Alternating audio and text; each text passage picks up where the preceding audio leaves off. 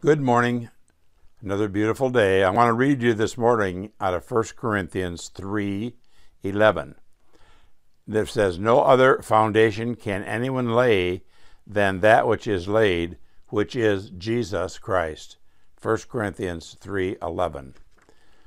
The word church is an English translation of the Greek word ecclesia, which means the called out ones or assembly of people. The word as applied to the Christian society was used first used by Jesus himself when he told Peter, Upon this rock I will build my church, and the gates of hell shall not prevail against it. Matthew 16, 18.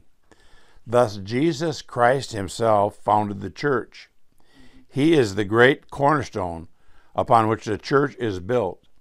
He is the foundation of all Christian experience, and the church is founded upon him.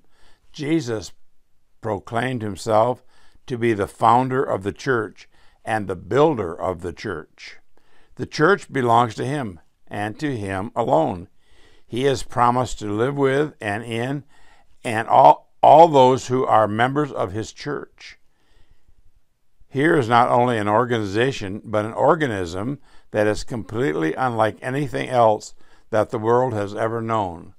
God Himself living with and in ordinary men and women who are members of His church. How can you build your life on Jesus Christ? Have a wonderful day.